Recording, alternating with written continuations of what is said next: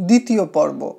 তাহার পরদিন হইতে ঘুম ভাঙিলে সূর্য উঠিলেও রাজার প্রভাত হইত না। ছোট দুটি ভাই বোনের মুখ দেখিলে তবে তাহার প্রভাত হইত। প্রতিদিন তাহাদিগকে ফুল তুলিয়া দিয়া তবে তিনি স্নান করিতেন। দুই ভাই বোনে ঘাটে বসিয়া তাহার স্নান দেখিত।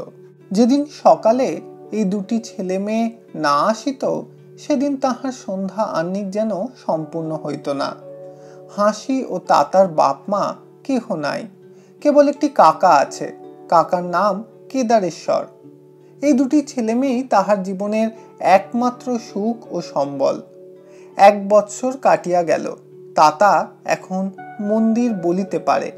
কিন্তু এখনও কড়াই বলিতে বলাই বলে। অধিক কথা সে কয় না।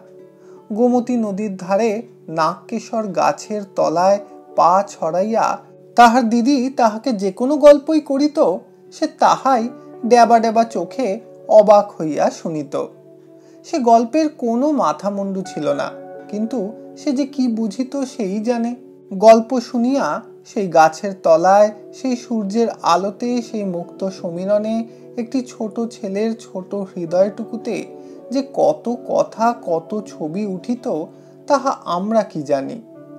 তাতা আর কোনো ছেলের সঙ্গে খেলা করিত না, কেবল তাহার দিদির সঙ্গে সঙ্গে ছায়ার মতো বেড়াইত। আষাঢ় মাস, সকাল হইতে ঘন মেঘ করিয়া রহিয়াছে। এখনও বৃষ্টি পড়ে নাই, কিন্তু বাদলা হইবার উপক্রম দেখা যাইতেছে। দূর দেশের বৃষ্টির কণা বহিয়া শীতল বাতাস বহিতেছে। গোমতী নদীর জলে এবং গোমতী নদীর উভয় পাড়ের অরণ্যে অন্ধকার আকাশের ছায়া পড়িয়াছে। কাল রাত্রে অমাবস্যা ছিল। কাল ভুবনেশ্বরীর পূজা হইয়া গিয়াছে।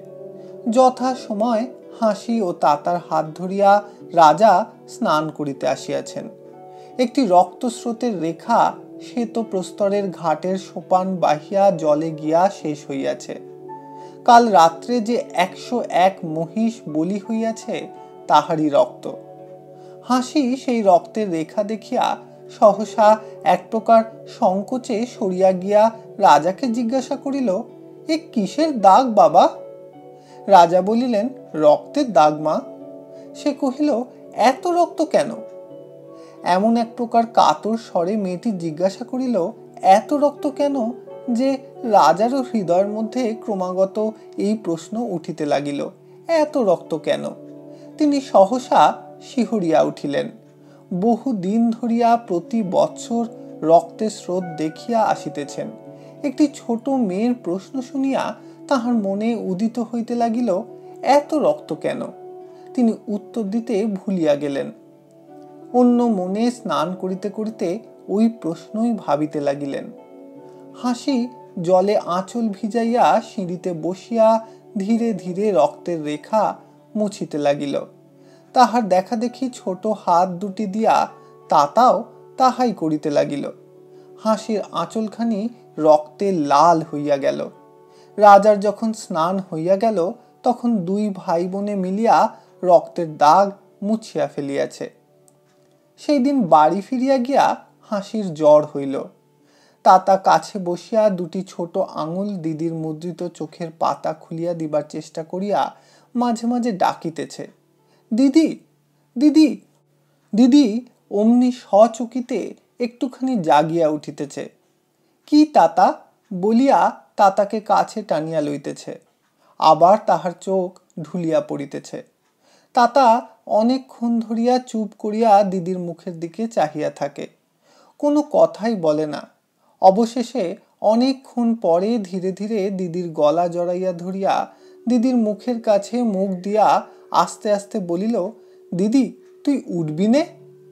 হাসি চমকিয়া জাগিয়া তাতাকে বুকে চাপিয়া কহিল, কেন উঠব না ধন? কিন্তু দিদির উঠিবার আর সাধ্য নাই। তাতার ক্ষুদ্র হৃদয় যেন অত্যন্ত অন্ধকার হইয়া গেল। তাতার সমস্ত দিনের খেলাধুলা, আনন্দের আশা একেবারে ম্লান হইয়া গেল। আকাশ অত্যন্ত অন্ধকার। ঘরের চালের উপর ক্রমাগতই বৃষ্টির শব্দ শোনা যাইতেছে। প্রাঙ্গণের তেঁতুল গাছ জলে ভিজিতেছে, পথে পথিক নাই। কেদারেশ্বর একজন বৈদ্যকে সঙ্গে করিয়া আনিল। বৈদ্য নারী টিপিয়া অবস্থা দেখিয়া ভালো বোধ করিল না। তাহার পরদিন স্নান করিতে আসিয়া রাজা দেখিলেন, মন্দিরে দুইটি ভাই বোন তাহার অপেক্ষায় বসিয়া নাই। মনে করিলেন, এই ঘোরতর বর্ষায় তাহারা আসিতে পারে নাই। স্নান তর্পণ শেষ করিয়া শিবিকায় চড়িয়া বাহক দিগকে কেদারেশ্বরের কুটিরে যাইতে আজ্ঞা দিলেন। অনুচরেরা সকলে আশ্চর্য হইয়া গেল, কিন্তু রাজাজ্ঞার উপরে আর কথা কহিতে পারিল না। রাজার শিবিকা প্রাঙ্গণে গিয়া পৌঁছিলে কুটিরে অত্যন্ত গোলযোগ পড়িয়া গেল। সে গোলমালে রোগীর রোগের কথা সকলেই ভুলিয়া গেল। কেবল তাতা নড়িল না। সে অচেতন দিদির কোলের কাছে বসিয়া দিদির কাপড়ের এক প্রান্ত মুখের ভিতর পুড়িয়া চুপ করিয়া চাহিয়া রহিল। রাজাকে ঘরে আসিতে দেখিয়া তাতা জিজ্ঞাসা করিল, কি হয়েছে? উদ্বিগ্ন হৃদয় রাজা কিছুই উত্তর দিলেন না। তাতা ঘাড় নাড়িয়া নাড়িয়া আবার জিজ্ঞাসা করিল, দিদির নেগেছে?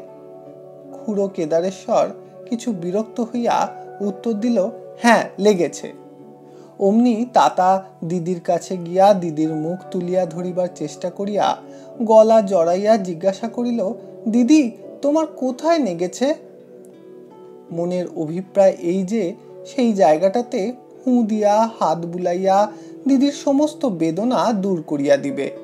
কিন্তু যখন দিদি কোনো উত্তর দিল না, তখন তাহার আর সহ্য হইল না। ছোট দুইটি ঠোঁট উত্তর উত্তর ফুলিতে লাগিল। অভিমানে কাঁদিয়া উঠিল। কাল হইতে বসিয়া আছে। একটি কথা নাই কেন? তাতা কি করিয়াছে যে তাহার উপর এত অনাদর? রাজার সম্মুখে তাতার এইরূপ ব্যবহার দেখিয়া কেদারেশ্বর অত্যন্ত শশব ব্যস্ত হইয়া উঠিল। সে বিরক্ত হইয়া তাতার হাত ধরিয়া অন্য ঘরে টানিয়া লইয়া গেল। তবুও দিদি কিছু বলিল না। রাজবৈদ্য আসিয়া সন্দেহ প্রকাশ করিয়া গেল। রাজা সন্ধ্যাবেলায় আবার হাসিকে দেখিতে আসিলেন। তখন বালিকা প্রলাপ বকিতেছে, বলিতেছে, মাগো, এত রক্ত কেন? রাজা কহিলেন, মা, এ রক্তস্রোত আমি নিবারণ করিব। বালিকা বলিল, আয় ভাই তাতা, আমরা দুজনে এ রক্ত মুছে ফেলি। রাজা কহিলেন, আয় মা, আমিও মুছি। সন্ধ্যার কিছু পরেই হাসি একবার চোখ খুলিয়াছিল।